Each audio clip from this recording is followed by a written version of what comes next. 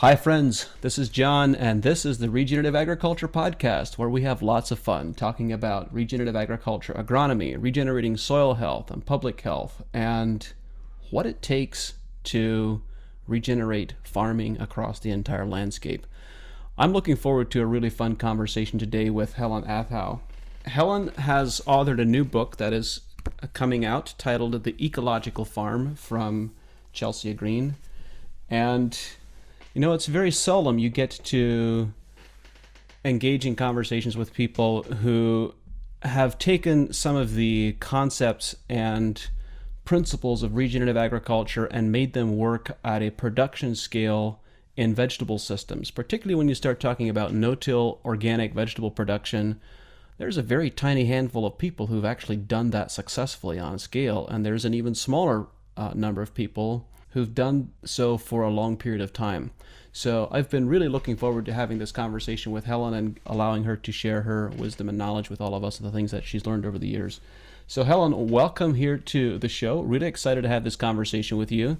Can you tell us a little, little bit about your your history and story and the life journey that you've been on? Well, thank you. It's such an honor to be here. I listen to this podcast and it helps confuse me and inspire me and give me new ideas. So thank you. That sounds like quite a compliment. They say that confusion is the beginning point of learning. Absolutely. And that's been my evolution, I have to say, over the last 40 years, trying to figure things out, becoming confused, having moments of epiphany, and, uh, and then making more mistakes. So I started in Western Montana and uh, surrounded by ranching and, and grain crops. And I went off to uh, college and graduate school and studied agricultural ecology and uh, and then horticulture plant physiology. But in between, I was lucky enough to study with or learn from Masanobu Fukuoka, who taught me wow. to really listen, yes, to natural systems. And of course, I have spent the last 45 years trying to get living mulches right. And maybe the last few years, I think I, I'm getting it. I also was lucky enough to spend a year at the Land Institute in, in Kansas uh, with Wes Jackson, and he introduced me to plant population biology. And that really made me think differently and, and add that whole ecological literacy to to the way I approach agriculture and and horticultural problems. And so I I continued on trying to do both farming and understanding academic approaches to all of this and that was confusing but it it aren't those a little bit in conflict with each other one is thinking about systems and the other wants to reduce all the variables to one Exactly. But I think living peacefully or at least comfortably within that contradiction is where some of the inspiration comes. And then the absolute best part for me, I farmed and did extension work and did experiments on farm. And my students would say, Well, why can't you do organic no-till? And why are you still doing it that way? And of course you know you can ignore students but you go home at night and then you think well yeah maybe we better do better. And when i finally went to uh, the Eco Farm conference in uh, California and met my late husband, that's when everything changed. And we started partnering on this crazy soil revolution that we uh, were going through in our brains. And we said, yeah, let's develop a system where we can do no till, no spray, no weeding, and grow our own fertilizer. What could go wrong? I love the vision, and you know, that vision that you just encapsulated is like you. I was also really inspired by the One Straw Revolution and the books that Fukuoka published on and just the idea that there is a possibility that if we understand our agricultural systems well enough, the only thing he was doing at, once he had his system refined, granted that took 40 years, but with a refined system, broadcasting seed and collecting the harvest. That's remarkable. And yet, timing was key. Timing Exactly. and and managing uh, what Carl and I came, uh, my late husband and I came up with was instead of focusing on crops and managing all the details of the crops, we began to manage the ecological relationships and and that changed everything. But it also meant that details matter. And what some people call managing the fiddly details, we called managing the ecological details. So Fukuoka did that. When you're when you were right there, you realized how vital that was to the whole system. Yes, so I interrupted you. Tell us about the rest of your story. You you decided that uh, you would develop this perfect system that would require no sprays and nothing could go wrong. What happened next?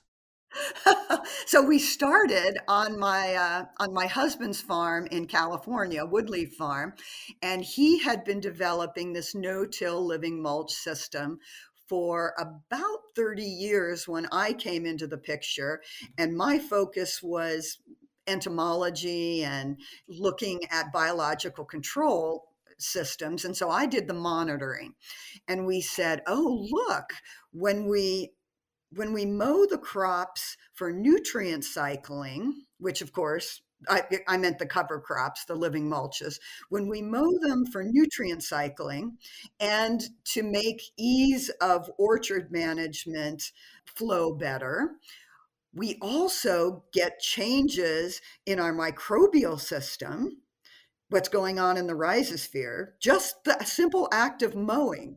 And we change what happens with our predators and our parasites and our pests. So, for example, if we mowed at a particular time during bloom, we would send thrips that would attack our nectarines and peaches into the orchard. But if we mowed selectively every other row and maintained blooming habitat for the thrips in the ground cover and also maintained habitat for a couple of the predators of the thrips, it turns out we didn't have to spray for them.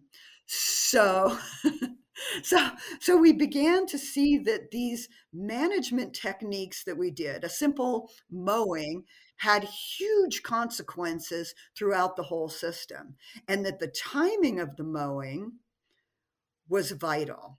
And then we learned oh, wow, if you're going to work with legume living mulches or legume cover crops, you don't have to worry about nitrogen interactions quite so much. But if you're going to have lots of species diversity, grasses and other forbs, other people call those weeds and uh, and legumes that you might want to manage the carbon to nitrogen ratio of the residues that you're surface applying.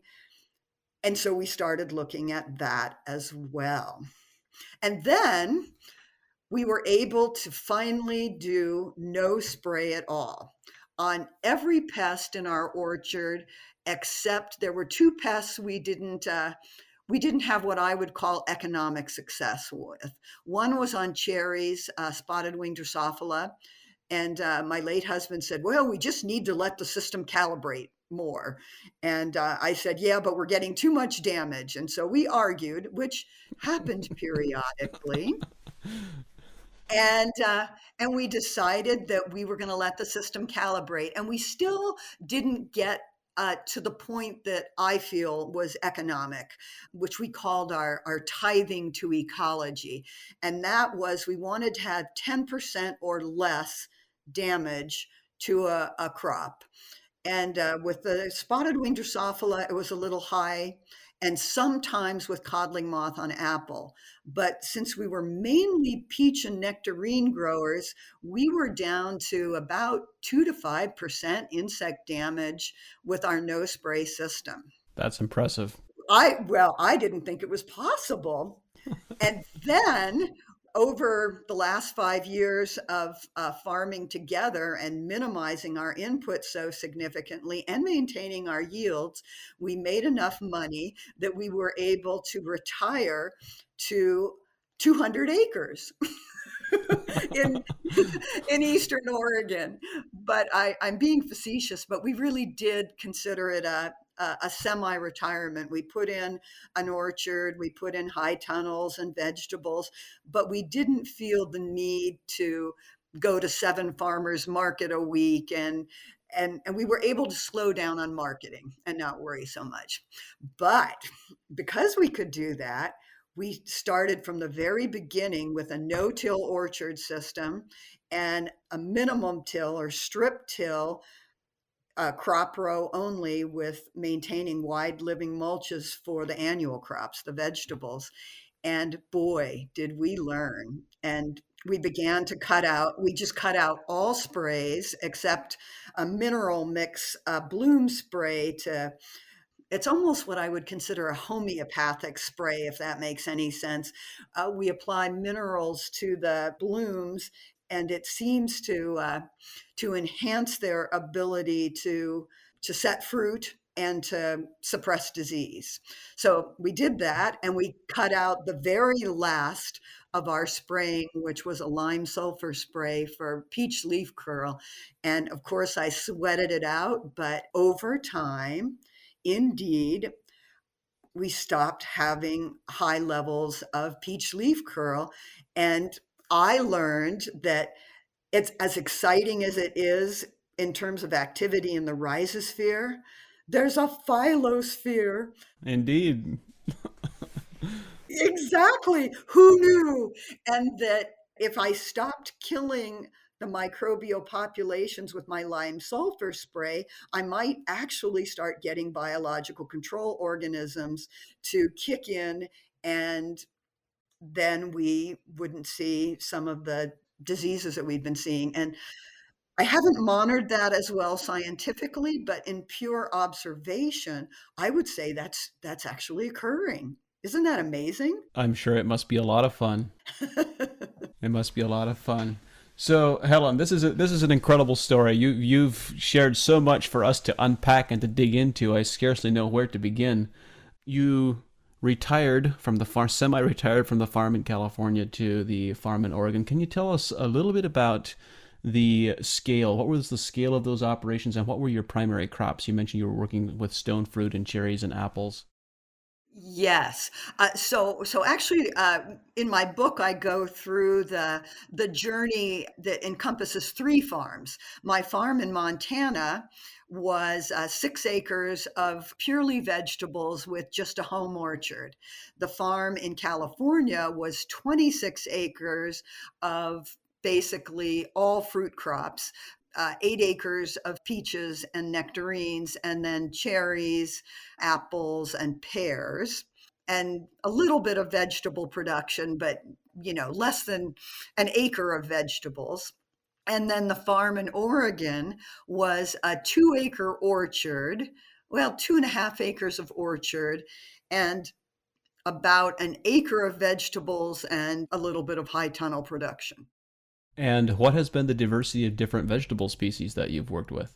Well, in Montana, I uh, because I was the extension agent, I didn't want to compete with local farmers, so I decided that I would be the field-grown tomato and red pepper queen, and so those were uh, those were my main crops. But to maintain a rotation, I had to do uh, brassicas and and onions and uh, cucurbits as well, but mainly tomatoes and peppers in Montana. And then in California, the vegetables that we did were cucumbers, trellised cucumbers, and of course, tomatoes and peppers.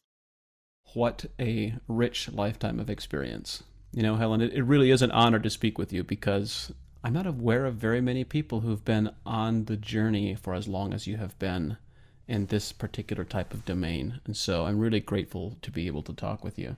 You know, you described this vision for a an ecological management system, a farming system where you're not spraying, you're not applying inputs, you're not doing most of the things that people do. So the obvious question becomes, what is it exactly that you do do? Boy, that is such a good question and I'm so glad you asked it because when I was in my 20s and learned from Masanobu Fukuoka, he talked about do nothing farming, but there were all of these mental things that were going on and watching and timing of the minute management. So in our system, there's quite a bit more management than in Fukuoka's system, but it's the timing that is really vital. So starting with the fruit system, which I have to say has been really effective. The no till or what I'm now calling a minimum till vegetable system is still evolving. The yields are good enough, but haven't met the, the yields that we had when we applied lots of compost and did lots of tillage for, you know, more conventional tillage. But the fruit system, for example, basically what we do is once we've got the trees, we've got them planted, we've got the living mulches in between the trees. So it becomes managing that residue and managing it in a way that we multitask with both nutrient cycling and habitat building for biological control organisms. And so what we try to do is pay attention to the carbon to nitrogen ratio of the residues. And in the early spring, will when the trees are just starting to bloom and when they seem to have the most pest issues by the way we try to mow only underneath the tree and leave the alleyways to grow up and be wild and full of cover and sequential season long blooming for predators and parasites and for birds and snakes and frogs and everybody that's part of our free ecosystem provider system. But we want to diminish the competition in the tree roots when they're really starting to take up their nutrients.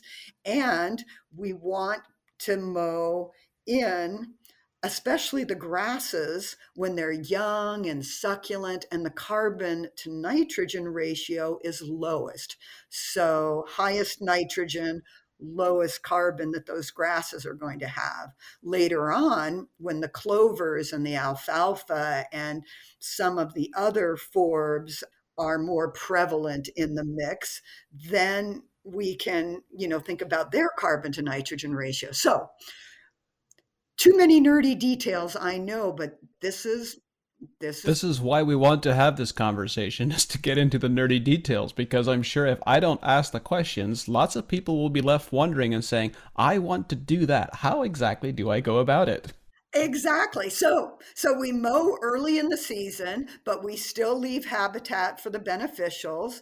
And then as the season goes on, we uh, of course we don't do any tillage and we don't do any spraying for pests but at bloom we do this wonderful uh, mineral mix spray that my late husband researched for many years in the 90s and then we have evolved.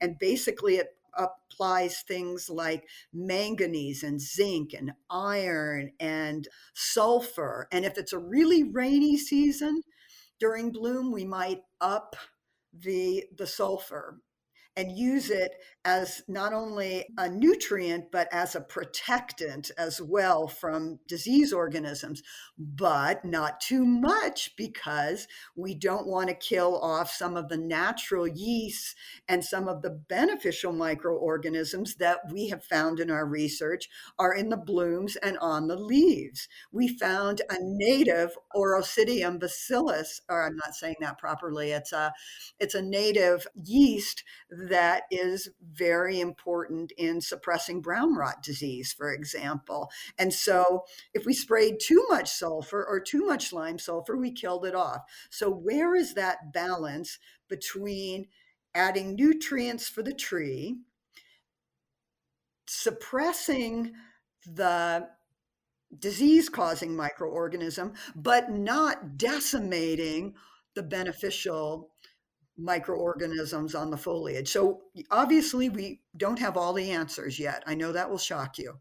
But but we but we are trying to learn them. So we we put on this mineral mix spray. It also has seaweed. It also has uh, azomite, which is a, a mineral.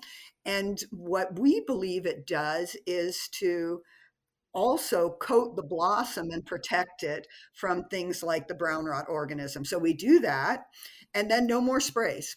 No more sprays, and we just monitor the beneficial insects, the predators and the parasites, both the flying predators and parasites and the ground dwelling.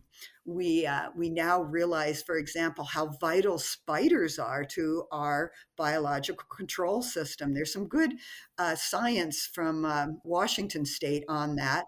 But we've learned and have identified all of these different species of spiders that stay on the ground and that also move up into the trees. And I didn't bring it with me, but I, I have my pinup spider calendar for 12 months of all the best spiders but but uh, you'll, you'll have to look at the book to see pictures of the spiders I know we many of our listeners and we we know this when we think about it, but we think in terms of ecosystem services, and the benefits of all these different species, how easy it is to disrupt that with our modern practices. I mean, how many growers are putting on mite sprays for acaricides and are destroying their spider population?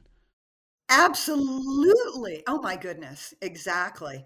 So basically then we we begin to mow a little bit more and a little bit out into the alleyway as the season progresses and then by the end of the season we mow it down to a golf course as the leaves start to to turn color and fall we want to recycle the nutrients from the tree, right? With both the prunings later in the winter and with the leaves that fall, it all goes back to the soil.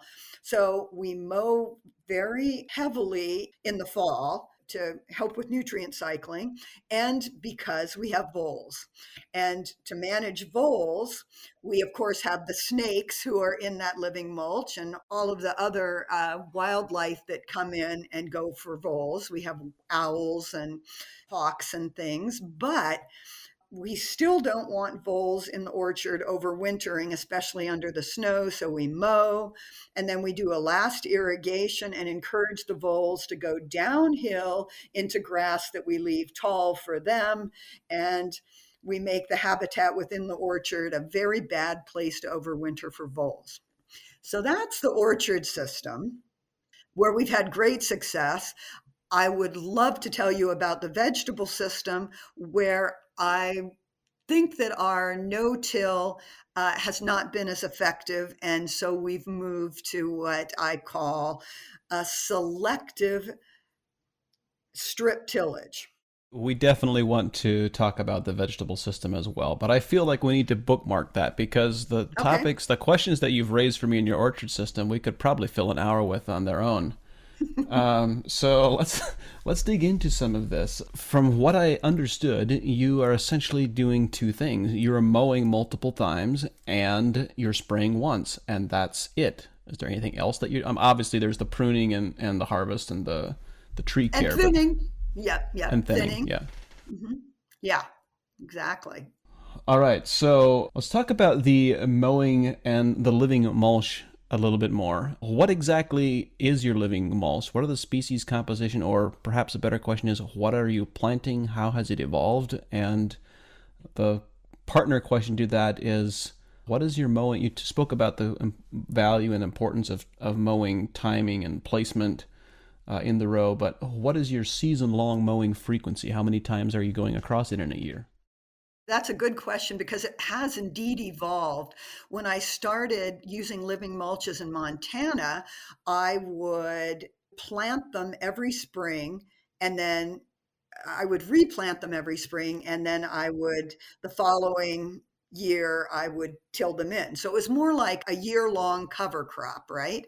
I would use legumes because I was a nitrogen hoarder. I was all about nitrogen. And of course, the legumes were so much more easy to manage with their low carbon to nitrogen ratio, and they're succulent, easy to decompose. So every spring, I would till them in and I would give the soil microbes this huge meal of lots of nutrients. And and they would feel a little like we feel after a big Thanksgiving dinner when you're kind of sluggish on the couch. And then I realized that I could start leaving islands of undisturbed living mulch from the previous year each spring. So I started doing a little selective tilling. And then I realized that, well, maybe I didn't have to be such a nitrogen hoarder. That's a long story in and of itself.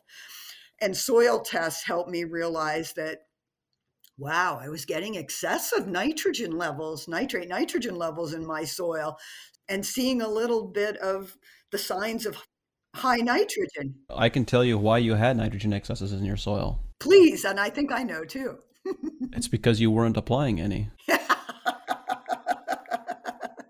No, I said that as a joke and to be a bit facetious, but it's absolutely true. If you want to shut down that system from functioning effectively, it's really easy. You add nitrogen fertilizer and your soil will deplete of nitrogen. Exactly. Back to that living root concept, right? When you minimize your tillage, nutrient cycling and recycling starts. But let me stick to the question because I'll get easily distracted. So, started with legumes and started planting annually every year. So, of course, I had the cost of cover crop seed every spring, right? So, when I moved to Carl's Orchard, we would renovate the orchard maybe every 10 years, but otherwise it was no till. And it would start out with 5% legumes and then a mix of grasses. And then the weeds would come in for free. We didn't have to plant them at all. and I am being facetious, but but it turns out that the diversity of forbs or weeds in the living mulch at Carl's orchard or our orchard in California, Woodleaf, turned out to be really vital to the biological control system. That we had different things bloom sequentially at different times throughout basically 11 months of the year in California, providing pollen and nectar and seed for all of our free ecosystem providers. So that diversity became important. So we didn't have to seed, but every 10 years or so. And in the book, I, uh, I go through what, what we seeded, all the different uh, species. And I also list which of the different species supported what beneficial insects at what time of the year. So I, I think that's the kind of thing we want to pay attention to. And then when we got to Oregon, remember, we were trying to do this minimal approach, no till.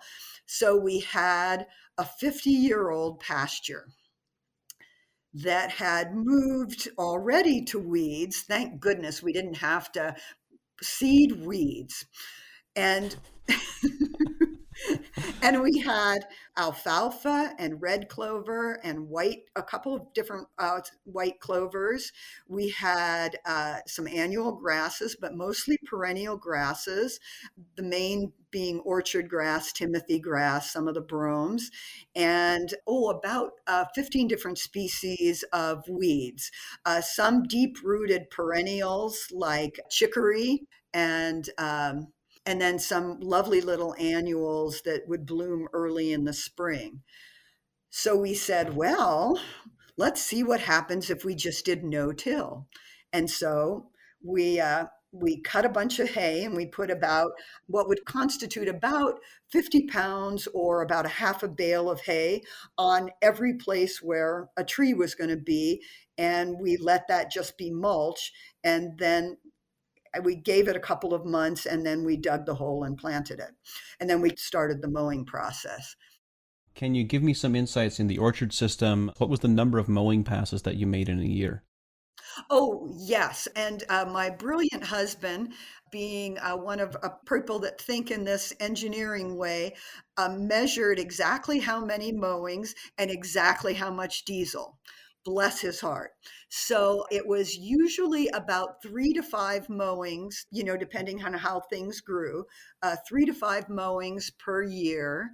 And it, uh, it was about 10, 10 gallons. That's of, not that many at all. No. I, I, was expecting you were going to say a dozen or more. Oh, no, no. Uh, more mowings in the vegetables, but less in the orchard. Uh, so about three to five, and uh, about 10 gallons of diesel per acre, a la Carl Rosato's measurements. that just seems like entirely not enough work to justify having an orchard. yeah, you know, if it weren't for thinning and uh, and harvesting, I would still be doing it. But I need to tell you that as an old lady for the last three years, except for harvest, I was able to manage that orchard almost entirely by myself. Wow, that is impressive. So let's talk about thinning a little bit because obviously the industry standard is chemical thinning, and I can't imagine that you're doing that. So how, how are you managing the thinning? Yeah, I have to admit, I've never figured out uh, organic chemical thinning, although people certainly have done some research on it. But again, we're trying not to spray. So, hand thinning, uh, it's a laborious process, but it's one of the, the three places where the labor goes uh, pruning, thinning, and harvest. Uh, so, yeah, it's all hand thinning.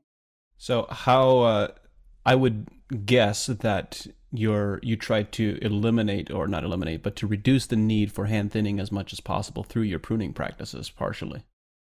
Exactly. And and uh, so we are trying. I did not do as good a job after i lost my husband but we did try to bring the trees down so that uh, number one we didn't have to use ladders and number two you're right we didn't have to thin as much. But especially on the, the species uh, that i really liked I would, or the varieties that I really liked, I would tend to uh, to let them grow taller than than we should have. So, yeah.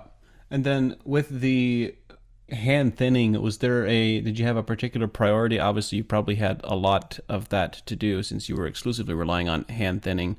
What stage of fruit development did you try to get that accomplished?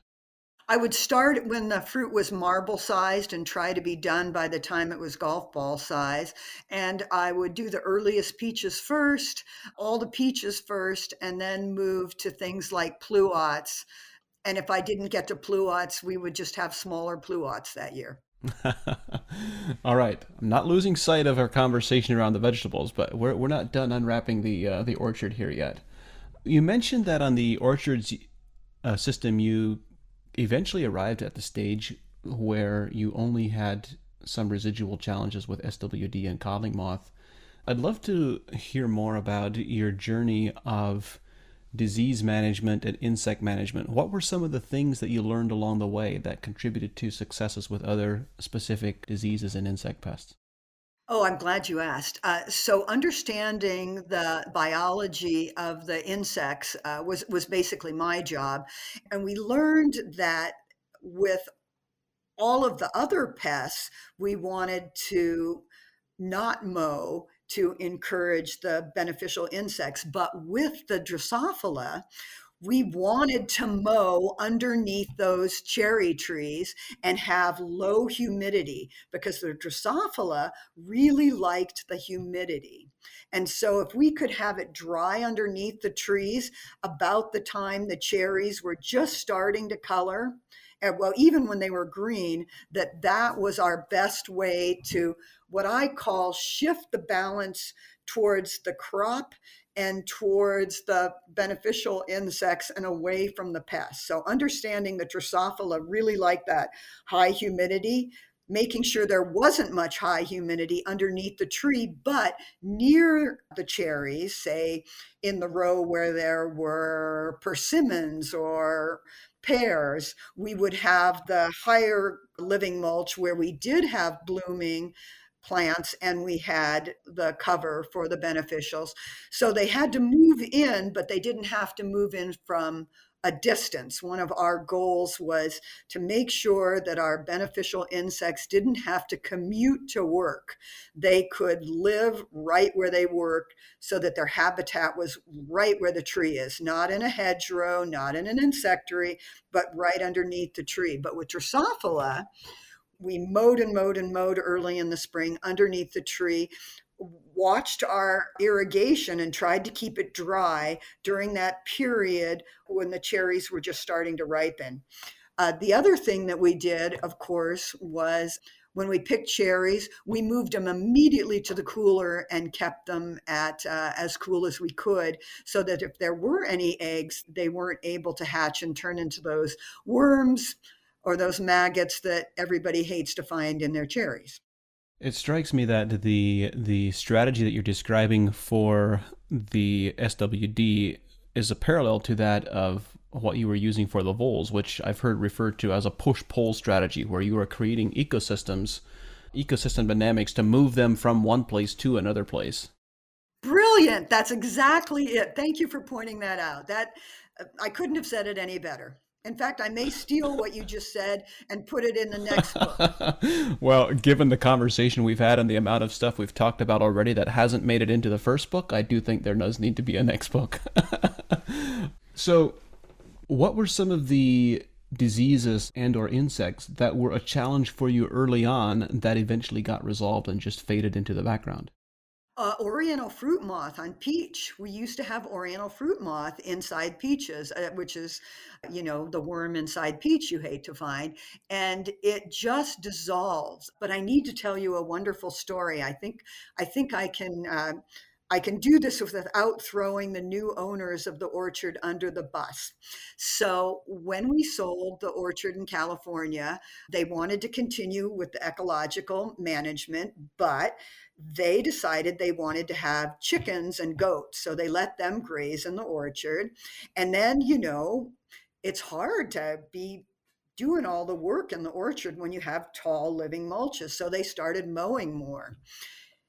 And when they mowed more, suddenly they started having oriental fruit moth damage again. Then they started having codling moth. And by the third year, we hadn't brought in bees uh, for many years because we had all of our native pollinators. They suddenly realized they didn't have bees. So here's the joke they said, we've gotten rid of some of those plants that were in the orchard, some of those weeds. Where can we get the seed for some of those weeds? and of course, we laughed, but basically, what we had to come back down to was you can't mow as much and you have to mow selectively so you, if there's a crop that you're working on okay sure mow every other row to make it easier to work there but especially when oriental fruit moth are flying, we want to make sure that we have lots and lots of undisturbed habitat. So that was one of those happy mistakes that uh, taught me a lot. Did you used to historically have challenges with uh, powdery mildew? You mentioned brown rot on the stone fruit and how you identified a um, you could say a microbial antidote or something that outcompeted it. Were there any other foliage diseases that you struggled with early on that disappeared? Yes, in the California orchard, we never had the courage to stop spraying lime sulfur in the dormant season for peach leaf curl. It's only been the last couple of years in the Oregon orchard that I had the courage to stop spraying for it. And and I, I have to say, the first year uh, there was quite a bit of peach leaf curl, and I didn't invite anybody into the orchard until the peach leaf curl had dropped. And I forgot to mention that with this mowing system that we do, we're also encouraging below ground biological control organisms. So we're we're doing this continuous feeding of the rhizosphere instead of what I used to do, which was add compost and cover crops all at once for the microbes. The goal now is steady residue application, the three to five times a year, and regular decomposition rather than all, you know, all at once. So as we do that, if leaves that are diseased fall into the system, we're mowing them in, right, with our our selective mowing, and the microbial populations are basically controlling them, or as my late husband used to say, they're eating up the bad guys.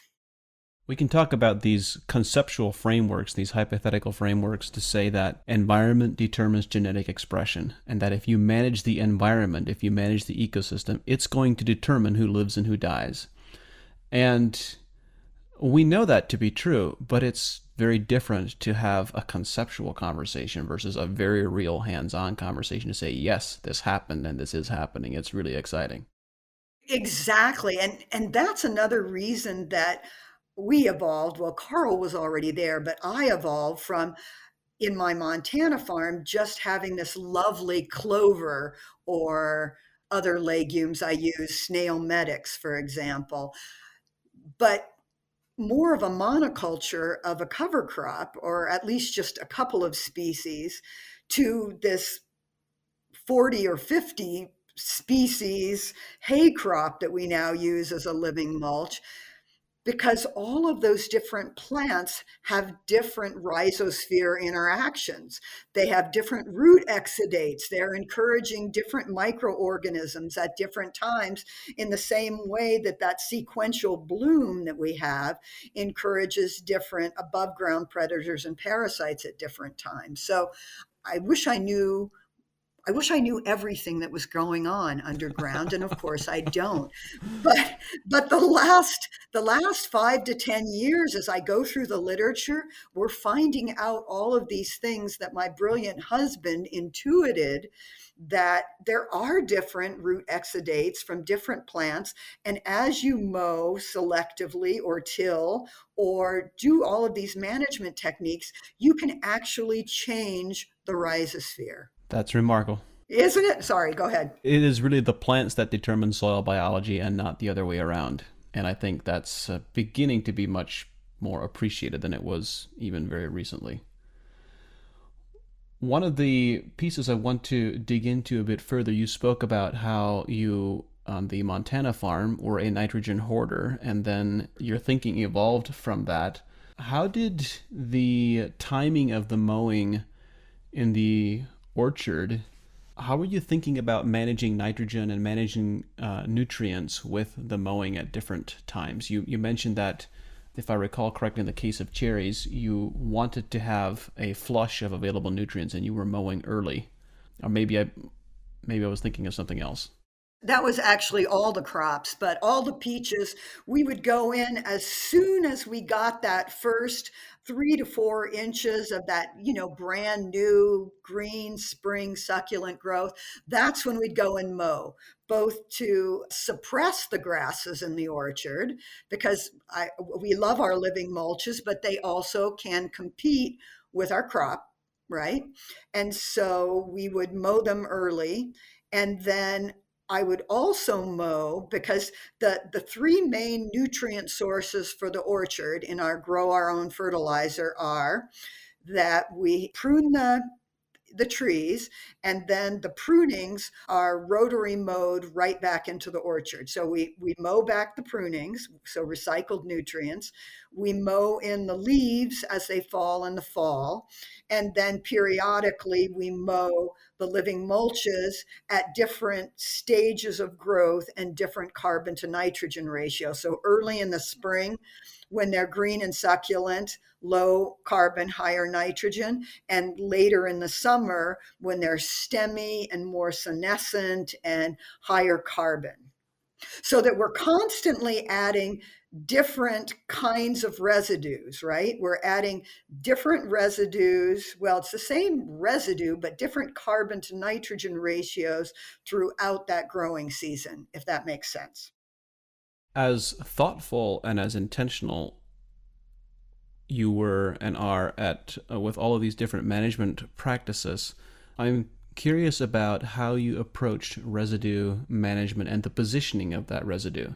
There are increasing number of growers today who are playing with mow and blow mowers, growing cover crops in the alleyway, and then banding them onto the tree row as a form of mulch on the tree row. How are you positioning the these various uh, mowing applications and the residue from those applications to facilitate optimal decomposition and the various benefits that you were looking for? Absolutely. And so you're going to laugh, but uh, the best tool for the orchard for our mow and blow, because that's exactly what we were wanting to do. And we wanted to place it as close to the root system as possible and still leave that alleyway undisturbed. So we, we had a 10 foot rotary mower that we would use at the end of the season, right? When we're mowing in the leaves and, and doing the vole habitat changing. But for the most of the mowings, we would use just a little Husqvarna riding mower. And we would just go down and get, you know, not a, like a 48 inch or or you know 40 inch area right underneath the tree and then blow it right towards the tree and the alleyway didn't get blown in till later in the season in the past, we've made recommendations or we, we've proposed the possibility of growing legumes in uh, cherry orchards and in apple orchards in, in the Pacific Northwest.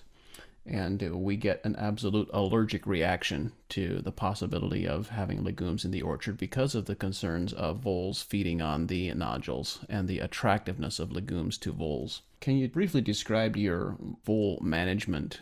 But I, I am curious, what uh, what has the final outcome of that been? Are voles a serious challenge for you at all, or are they a non issue that you don't even think about? I wouldn't say they're a non-issue. No, we think about it. Well, let me let me say it this way: Are they a non-issue with your uh, with your current management strategies? We haven't had uh, vole damage, but I, I, think we manage for it.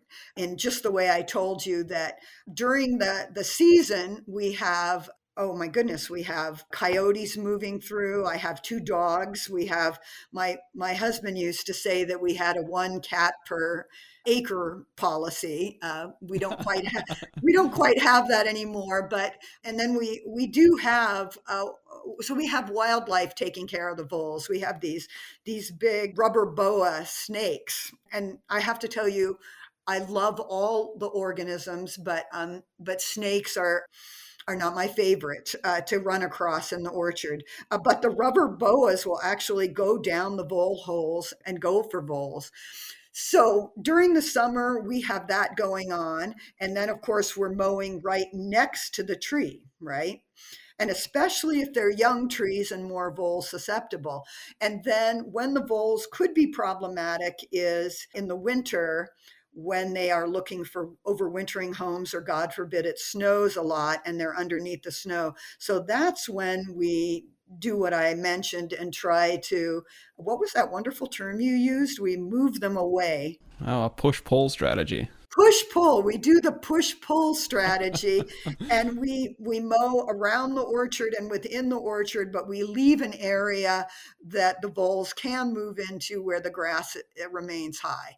So we uh, we and then we at the very end we have this wonderful irrigation system. Uh, we have a gated pipe irrigation system so i can flood uh, down the hill and uh, so after I've done all that mowing and the leaves have all fallen and we've done that final mowing, we also do a, a flood of the trees so that the voles say, oh, well, this is really an uncomfortable place to be. And they, they move down the hill where we don't mow and we don't flood and they overwinter there when we think about flooding and flood irrigation, I was about to ask you the question Are your trees on mounds or anything? Do you contour the soil at all, or is it all perfectly um, matching the landscape? It's become a little contoured because over time, over the years that we mow and blow the mulch into the into the tree, there's a bit of a con, a, a little bit of a mound, but no, we never mounded them because we did no till. Remember, so we couldn't mound because of no till, but we are on a, a slope, uh, so the water does move downhill. Got it. You know, the I find it interesting the progression of diseases and insects and, and the way that your system evolved and how they uh, faded into the background and ceased to be a problem. The fact that you're left with um, spotted wing Drosophila and codling moth being an issue after this amazing journey. I find this really intriguing and pronounced parallel to the way we see many systems evolving. What those two pests have in common is they primarily infect the fruit, not the leaves. And we consistently see that the fruit is the last location on the plant to have exceptional nutritional integrity. It usually remains the weakest location on the plant the longest because of its extremely high in nutrient requirements and nutritional requirements. So it's interesting to me that kind of everything else faded away with the exception of those two. And we don't have a tremendous amount of experience.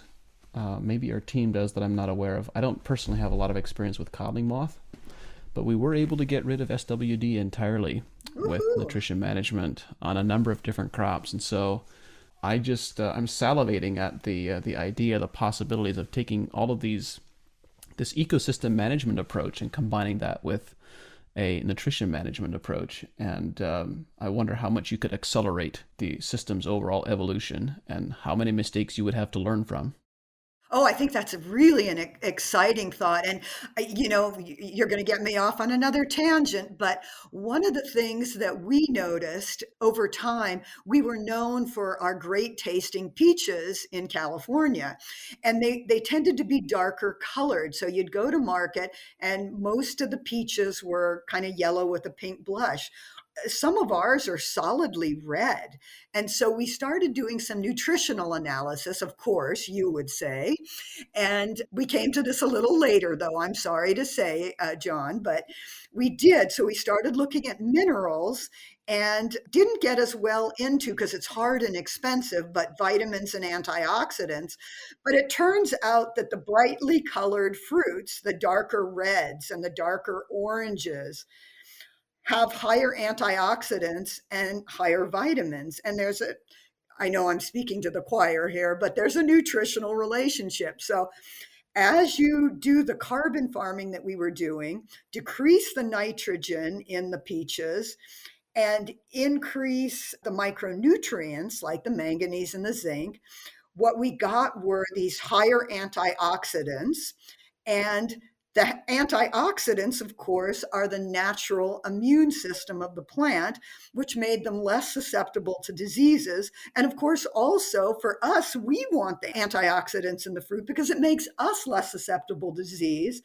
And then, as I was writing the book and going through the literature, I found this wonderful paper looking at as the nitrogen decreased in fruit uh, and peach tissue, and the vitamin C content increased, brown rot decreased. So, decreased nitrogen, increased vitamin C, decreased brown rot, a better tasting fruit, higher in vitamin C, which is what we want.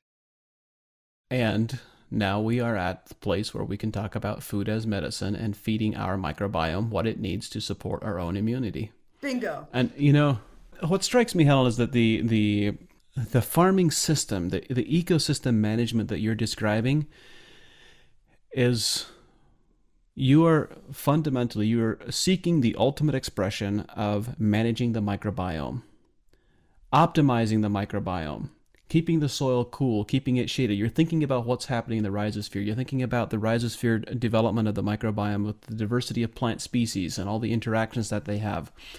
And you know I've tried to communicate this in different ways using different language, but it occurred to me just recently that from a crop management perspective, from a farm management perspective, I think we would be well served to consider plants as creating none of their own compounds, none of their own phytohormones. I think we would be well served to say, you know what, plants plants are not creating their own plant secondary metabolites. They're not creating their own anthocyanins, their own vitamin C. That the the contribution of these phytohormones, these phytonutrients, is coming from the microbiome. And I don't believe that's entirely true. It's my understanding that plants have the ability to synthesize some of these compounds on their own. But then again, I don't know that anyone has really looked to see, or if it's even possible to measure, how much of the endophytes are able are, are contributing to the synthesis of these phytohormones. But the real as as I see it, we know that we have all this biology in the roots uh, uh, rhizosphere that we call PGPRs, plant growth promoting rhizobacteria. Why do we call them that? Because they synthesize hormones and contribute them to the plant. And we know that biology synthesizes many of these phytonutrients and contributes them to the plant. And after a while, I'm left wondering and asking the question uh, hang on a bit here. what proportion of the phytonutrients inside a plant are actually being synthesized by the plant and what proportion are being synthesized by the biology that's living in the plant. Because we now know that we have fungal endophytes and bacterial endophytes inside every single plant cell. Anyway, it's a question that I have, but from a from a management perspective, I think we would be well served to think of it as it's 100% coming from the biology, and the better we support and sustain, sustain the biology, the higher our concentrations of phytonutrients and nutritional integrity is going to become. And your ecosystem management is doing that extraordinarily well. Oh, I'm so excited that you're saying that because now I'm going to um, move from anything that I have said that's supported by science and go into wild speculation. So, so I think what you have said is exactly what's going on in my orchard that I don't understand why it's working so well. We have this no-till system I wish you could see the pictures. It's so competitive. We have all these grass. I have seen the pictures in your book. Everyone needs to get the book and look at the pictures. It's uh, it's the ultimate definition of what clean farmers would have conniption fits over of being a messy farm. It's a beautiful messy. It's lovely. Ecology is messy, but but I keep after being told 40 years ago and, and most of my life that this wouldn't work, that there's too much competition. And, and we haven't added any nitrogen fertilizer. We haven't added any fertilizer since 2016 when we planted the trees and my husband put down a mineral mix in every tree hole. So we had a mineral mix in every tree hole. There has been no fertilizer except the living mulches reapplied since, let's say, 16, since 17, 18, 19, 20, 21, 22, 23, seven years, seven years, and there's the competition. And I think the reason it's working is just what you said. We are managing to encourage the microbial community and the beneficial insect and free ecosystem community. We're also trying to encourage the trees but we're not just feeding the trees. And so the trees are cycling and recycling nutrients. The microbial community is cycling and recycling nutrients. And someday, don't you think, John, someday we're going to have to add some outside nutrients to those trees again. But this year, you should see how green and beautiful the leaves are. They don't need it. What do you think? I uh, I'm hesitant to speculate because I'm concerned people might think I really went off the deep end and went became really heretical. But uh, my standard answer has been that you know we can measure we can measure the soil's total reserve nutrients. We can see what is present in the soil's geological profile and we can identify when we look at the what the crop is actually removing and we can do the math and say okay we have 100 years worth of manganese in the top six inches, another 200 years in the six inches below that. So we can we can do that type of math, and for different types of geological profiles, we'll find that some minerals are simply absent. Some foundational parent bedrock material doesn't contain selenium, and some doesn't contain enough molybdenum, and arguably it might need to be added. But then you know, I'll join you in going into wild-haired speculation here. Then we see ecosystems like yours that are performing so well with this amazing microbial ecology.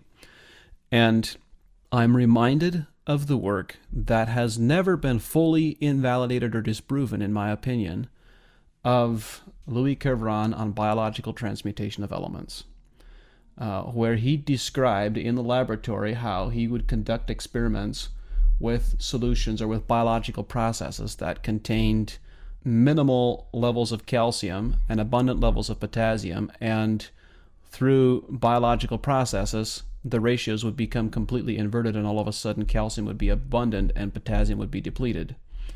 And there is too much there that we don't understand. And mainstream science would like to immediately discard that subject summarily out of hand and say, no, that is absolutely impossible. It can't possibly happen. And yet, Kervran had a significant enough body of work that he published a book with dozens of experiments that were repeated and replicated over and over again. Anyway, there's this question in the back of my mind. This is not even a conversation we could entertain for many farming ecosystems, in my opinion, because many of them don't have the microbial activity and the microbial profile where this could even happen. Or I shouldn't say it couldn't happen, but not to this degree. There's one other example that comes to mind, and this was the uh, the Lübkes in Austria who pioneered their what I call their ultimate winemaking approach to making compost to making humus. They were I forget the distance, but they were downwind within I want to say 30 miles or 50 miles of Chernobyl. Uh, I, I, could be I'm probably mistaken about the distance, but it was close enough to Chernobyl that uh, they received significant fallout and the crops on all the neighboring farms in their region had to be destroyed because of the contamination with atomic nuclear waste materials. But they were none detectable on the Lübkes farm. In a matter of months, they were none detectable. So, biology changed something. They had an extraordinary biology. And so, anyway, I've truly classed myself as a heretic at this point, but uh, I think there's more questions and more homework that needs to be done before I will be satisfied that this doesn't happen. Well, that's very interesting. I'm not sure what I believe, but I will tell you that when I made compost, and I am now the anti compost, I'm, I'm, teasing, but I, I don't make compost anymore. But the compost I learned to make, I learned from the Lübkes. they were uh, extraordinary pioneers. I wish their yes. information was more widely known. All right, this has been a fun conversation about orchards. Let's talk about. But actually, no, I mi- I missed. You know, I get so excited talking about these ecosystems. I missed asking the very mundane questions, like uh, what has happened to your yields, and how do your yields compare with mainstream production practices? The yields in the orchard are very good and comparable. Uh, well, comparable to mainstream organic. Mainstream organic. The vegetable yields are lower the vegetable yields are lower on a per acre basis because I have these uh, wide living mulch rows. In an orchard, you always have wide living mulch rows, right? They're called alleyways. But in vegetables, you don't normally have that. We have basically taken the orchard system I've described and done it with vegetables, except that we strip till the vegetable row every spring. But if you look at it on a per acre basis, we are growing our cover crop every year in the field, right, with our living mulch. So our yields per acre are lower. I want to go back to the orchard just for a bit because there are probably many of our listeners who are unfamiliar with uh, with orchard systems. How when you say that you have yields that are comparable to organic systems, uh, how do the organic systems compare to the non-organic systems in the region? Well, in California, the organ boy, I shouldn't say this because uh, somebody's going to be upset, I'm sure. I'll just say our orchard yields at Wood Leaf Farm, which remember were high enough to make us enough money that we were able to retire to the farm in Oregon. Uh, so economically, we did very well. Uh, the yields, our yields, our poundage yields per acre were lower than the conventional peach production average yields in uh, or highest yields in California. How's that? I could razz you a little bit and say, "Oh my goodness, the land in Oregon must be really cheap." Uh, uh, well, it, it's it's cheaper than California. yeah, I'm just having fun with you there. Now, obviously, obviously, did very well. All right, thank you for entertaining my uh, persistence with that question. So, thinking about your vegetable systems, you described that you were doing a strip till annually before planting, and then you're doing the mowing. In the case of the tree fruit, you were also doing a single foliar application mineral spray per year. Are you doing anything like that for the vegetable crops? No, I'm not. And you know, that's interesting that you say that. I, I may have to think about that. So, no, we are not spraying for any insects or any diseases in the vegetables. And we hadn't had any problems uh, last year in 2022. Uh, in, yeah, in 2022, uh, we had some pests I hadn't seen after, uh, had anybody noticed that 2022 was particularly dry and particularly hot? I'm being facetious because we had the hottest temperatures in eastern Oregon that we'd ever seen. And on some crops that were a little drought stressed, we saw some pests that we hadn't seen before. On the crops that we managed to maintain with uh, high levels of irrigation, we maintained pest free, generally pest free, or the, you know, five to 10% damage that I, I allow in my system. But the vegetable system, just like the orchard system, the goal is to have as little bare soil within the, the year as possible. But for about a three to four week period, the portion where the crops are going to go, not every crop, some crops can handle um, some no-till, but with, a, with the heavy residue applications beforehand but for, especially for seeded crops, again, early in the spring, when the grass is starting to grow, well, the living mulches are starting to grow, but it's the grass that I need to suppress in my vegetable systems. That's when I'll come in and when the carbon to nitrogen ratio of the grasses is the lowest. So if I till, I want to make sure I'm adding microbe food. I don't till unless I'm feeding microbes. So I let it get up to a certain point and then I strip till it. And then I let it dry out. I wait for the living mulch in between the strip tilled areas to get to be a little taller, succulent and green. And then I mow and blow that into the tilled area and then I till it again. So I go through with two to three passes, depending on the crop, whether it's a transplanted crop, whether it's a seeded crop, whether it's what I call my weed tolerant crops or my less weed tolerant crops. Depends on whether I do the two to three passes. But every time I do a pass, I either till in something or I mow and blow until something in. So we never disturb the soil unless we're using it to feed microbes. How wide are your tillage strips that you are doing your strip tillage? And do you use the same strips from year to year?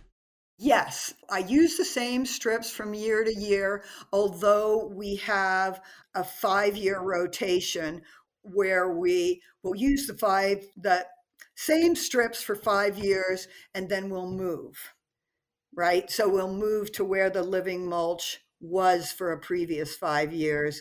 And only then do we seed it.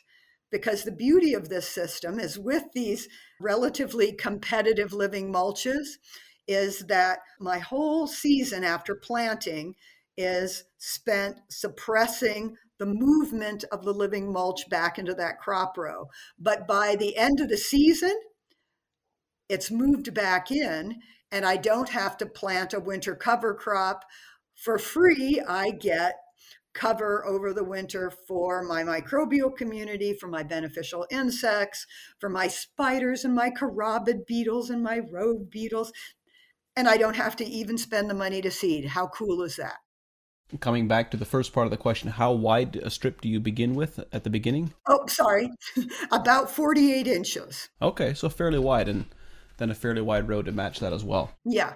So we spoke about the mulch species, the living mulch species that you, or kind of the blend that you have working for you in the orchard system, both in California and in, in Oregon. But what are you doing in the vegetable system? Are you also going into the old pasture? Do you have specific species that you've planted?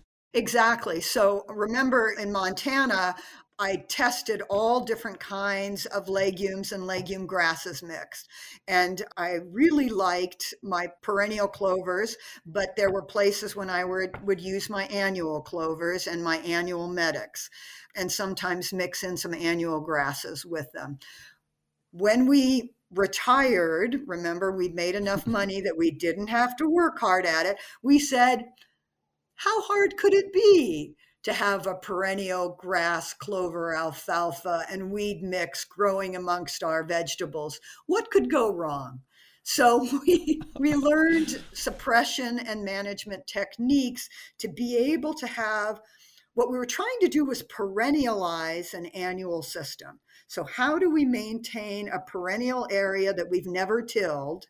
Well, or at least we didn't till for the first five years, right? How do we have no tillage in the rotation of an annual system. Does that make sense? Yep. So, so that was what we were trying to do. So we started out with that hay crop, that that 50 year old hay crop, and then it moved back in. And it continues to move back in even when we start tilling another area, right? We till that area that had been in living mulch. I will go through and I'll oversow with a with a clover because, as you know, with cycles, uh, natural cycles of regeneration, what's going to happen is the legumes are going to generally move out and the grasses are going to move in. Except where we have the vegetables, they actually we can keep more legumes in those tilled rows. But anyway, I won't get off on that tangent. How frequently are you doing the clover interseeding into the uh, alleyway? Only when I move. So once every five years. Right, exactly. Okay. You gave us some examples of the intention behind the timing of when you are mowing in the orchard system what is the intention behind the timing of mowing here in the vegetable crops? What's your mowing frequency and the pattern, and why is it that way? Good question because it is different in working with an annual that doesn't have as aggressive a root system. So we start in with that tillage that I just described, the strip tillage, and then we mow the living mulch and get, you know, added fertilizer, and then we finally plant the crop. And then, just like any good vegetable grower, I go in and I suppress the annual weeds that will come in early in the season. The timing, of course, is vital. So I go through and I wheel hoe in between my crops in the strip till row and I let it dry out. And then the living mulch is high enough again that I mow it again and it acts not only as nutrient cycling i'm adding a remember i wanted to add the regular constant continuous residue addition throughout the season rather than all at once at the spring. So I add another level of residue, but in this case, I've wheel hoed and let it dry out. And it also then adds a little bit of a mulch to suppress my weeds. So it's multitasking as fertilizer for continuous nutrient cycling, continuous decomposition for both my crops and my microbial community. It's multitasking as habitat for spiders and rove beetles. It's also a little bit of a mulch for weed suppressant. And then that's how I continue on during the season. I mow as close to the crops as possible leaving some in the middle of the living mulch row undisturbed for blooming habitat. And then right next to my crops, I'm trying to suppress those grasses so that they won't as quickly move back into the crop row. And at the same time, I'm using, they're donating their bodies, the grass weed bodies, as fertilizer and mulch and habitat in the crop row. So periodically, probably we mow about five to seven times. Okay. Uh, one of the questions that comes to mind, we spoke about uh, mowing and blowing in the orchard. And I guess it depends on how much residue that you have, but the mowers that I'm familiar with, I would be concerned about overwhelming young seedlings and, and young vegetable plants by blowing grasses into the row. So, how do you manage that? oh, I'm so glad you asked that. I managed to do that, of course, in the beginning. Uh, we uh, we tried a large scale dry bean and uh, flint corn experiment using this, and yeah, they don't like to be overwhelmed with uh, mulch. I don't do it on seeded crops till they're large enough. I do I do it mainly on transplanted crops, exactly. So With the seeded crops, I will actually blow away from the crop and then blow it back in later. Okay. I'm glad you asked that question because I had some very yellow looking dry beans and corn when when I tried to do that, thinking, "Oh, this will be good to suppress the weeds and the crop." I wonder what it would look like if you put on several inches of mulch um, before the seeds emerged and before the seedlings emerged. My perspective is that they can go through the mulch fairly easily, but once they're emerged, they don't do so well when it's put on top of them. That's a really good question. I've never tried. Your mission, should you choose to accept it, is to experiment with that and let me know. Well, I'll have an answer for you in about another uh, five days because I've got corn underneath and beans coming through about four inches of grass mulch right now. I really want to know the answer to that. yeah. On this journey with the vegetables, what were the major learning experiences? What were the things, the, the unintended consequences that you did not expect? Uh, nutrient immobilization. So, if I didn't balance my carbon to nitrogen ratios properly, if I did you know, of course, obviously in the beginning, I tried to do less tillage and I, I didn't time the mowing and the blowing and the tillage properly. I could get, especially in cold soils, cold spring soils, I could get both uh, nitrogen, particularly, but also phosphorus immobilization. And it, it, would eventually release, of course, but I would get a, a slow growth. I was always intrigued that, that they would recover uh, because I would run in there with my, you know, my special magic uh, liquid fertilizer mix, which is very close to the mineral mix that we spray on the uh, on the peaches. I would go in and I would do a root drench, but I found that sometimes if I didn't do a root drench, they would still recover. They just wouldn't recover as quickly. The original question was. Um what were the unexpected consequences? When did things not work out? Oh, that's right. Okay, so nutrient immobilization, I had to really time things properly so that in cold spring soils, I didn't have slow nitrogen and phosphorus and sometimes manganese, or excuse me, uh, magnesium. Uh, availability, but mostly nitrogen and phosphorus. Never have any problems with potassium, by the way, with this high residue system. And then in drought we, we have to provide enough water. We cannot let these crops get drought stressed with the kind of competition that we're asking them to deal with with the living mulches. I found that if we had any drought stress we would see poor growth and we would throw the balance over and and we saw a little bit of uh, on radish, for example, we saw a little bit of, uh, of disease that is encouraged when we get it too dry. Usually the microbial population was high enough, but if it was too dry, we threw the balance away from our good guy microbes and towards the disease causing microorganisms. And the other thing that you have to be important, uh, that is important, is to watch the climate needs that the crop has. So, for example, I can still plant things like my brassicas really early, but I have to cover them with Reemay if they get cold stressed at all.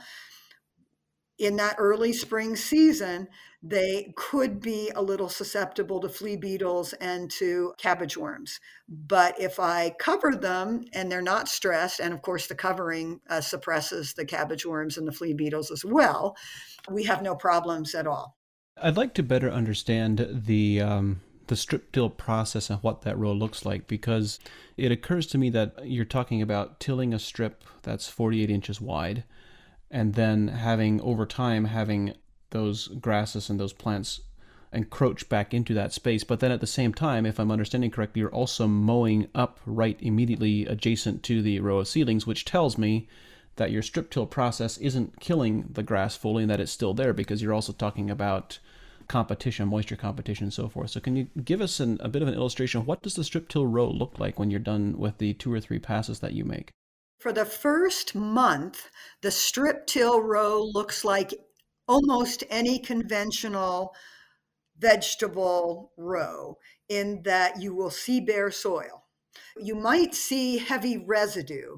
You know, I don't take so many passes over the field that I break the residue up a lot, but I do try to dry out any of the rhizomatous grass roots, God forbid, right? So I do try to do that. It really, for the first month, looks pretty bare except for the crop. And remember, I've also gone through in between the crop rows and I have wheel hoed at least once and sometimes twice, depending on the crop. So it, it looks bare, but if you move over, so let's say we've got we've got several rows of crop of seeded crop within the bed. If you get close to that to the edge of the bed, six inches over, right, would be that living mulch. So that's why I mow as close to the end of the bed as I can so that it can't rapidly encroach. Got it. That makes sense. And I have lots of pictures of this because I know a picture is worth a thousand words. I uh, I have a whole section in the book on this with you know how I do the vegetable system month by month so that you you can see what it looks like because those of you with inquiring minds want to know exactly what it looks like. And I also put the pictures in because I'm assuming that in different climates and in different places and with some nice young brains at work, you're going to improve upon my system. And so I want you to see what it looks like so you can say, oh, well, what if we did that? With all of the environmental, climate, and species differences, yes, there needs to be a thousand revisions, a thousand modifications, and adapted to local climates all over the place. And that's, you know, that's part of the fun. That's part of the joy is figuring it out. Yes. I actually I want to ask you a question about figuring it out, but before I go there, we haven't yet spoken about pest pressure on the vegetable crops, and you obviously have less length of experience there in, your Oregon operation as to what you did with the tree fruit in California. But how have you seen pest pressure evolve at this early stage, if at all? On the Oregon farm, we were doing uh, basically it was pest free, and so I I get away with the no spraying uh, until 2022, and then with the drought stress, we saw some cabbage worms and some flea beetles. Uh, no diseases really so far. Trying to think, yeah, tomatoes and peppers have been entirely pest free. you know, you make me laugh you make me laugh. It's like, uh, yeah, we, we never, it's like diseases were never an issue from the very beginning. And of course, you had the benefits of going into soil that has been in pasture for 50 years. And so yes, it hasn't yeah. been compromised. But uh, that is so far outside the realm of what is considered possible or normal by vegetable growers that it wouldn't even be perceived as being a possible reality. Like you must be in Never Never Land somewhere. And Eastern Oregon is a little never, never land, but uh, in California, we were not far from the Sacramento Valley. So, you know, we were right in the middle of, uh, of fruit and vegetable growing areas. And what was your vegetable disease and insect experience in California? We would get powdery mildew on the cucumbers late in the season uh, when the temperatures got cooler, but not early enough in, in the year to be problematic. Basically, no problems with the peppers and the tomatoes. And I've kind of already gone over the fruit pests. What is it that you wish farmers knew or would learn from your experience? And where do you see the greatest need or the greatest area of opportunity for more innovation? So, what's kind of innovative about the system that I'm doing with vegetables, trying to perennialize an annual system, is I'm putting into the rotation a perennial, right? So, what you said about I had less pest pressure because I was going into 50 year old pasture, I'm maintaining some of that pasture in the system at all times. So what I use when I consulted, I used to try and get grain rotations and grass rotations into the vegetable systems, right? This system that we have with the living mulch that's multitasking as nutrient cycling, habitat for beneficials, and as material for mulch for weed suppression, it's also allowing me to bring into my rotation a perennial and a grass, a POA family species, eh, well, and legume and some of the forbs, that it's hard to fit into a vegetable rotation, right? And so I think that what I'd really like us to think about is how to take the tenets of good organic farming, which include cover cropping, rotations, these varied and diverse rotations, feeding the soil rather than feeding our crops, to try and think outside of the box more and more with all of those good tenets of farming. And how can we do that in different ways, perhaps? And how can we think less about managing the needs of the crop and more about managing the needs of a plant community over a five year period or a 10 year period rather than over a weekly or a, a, seasonal period. This has been such an enjoyable conversation, Helen. What's the question that I missed asking? Oh, I don't think you missed any. And you ask questions that now you've got me thinking. And, you know, I'm supposed to be really retired now, but I've got this four acre alfalfa field out there. And now you've got me thinking, well, John, should I go out there and maybe I should just mow that alfalfa into beds? And wow, how am I going to seed? Into that. I, you got me thinking. So I've got questions for you for later, but I don't think you missed any questions. Well, I've really enjoyed this conversation, and I want to say thank you for sharing your lifetime of experience and your husband's experience and sharing all of your wisdom with all of us. It's so valuable and so necessary. You know, I've had the experience entirely too many times in my very short life of uh, knowing people with amazing, incredible, extraordinary knowledge who took took it all to the grave with them. And I uh, was one of the reasons, one of the inspirations for this podcast and for getting it going. And it's it's uh, it almost sounds presumptuous of me to to connect those two things because with the wealth of the lifetime of experience that you have and that many others have, it's impossible to capture uh, it's it's just this tiny little segment of all the stories that you could share and the things that you've learned and the examples that you have. And so I would encourage you to do write the second book. I'm sure the first one's going to be incredibly successful. And uh, to all of our listeners, we'll link to it in the show notes, but it is titled The Ecological Farmer by Chelsea Green. And if you enjoyed this conversation, you need to buy the book because didn't even discuss nearly everything that's in the book at this point. So, Helen, thank you for being here. I've really enjoyed it and look forward to more conversations in the future. Thank you for the opportunity and the idea stimulation.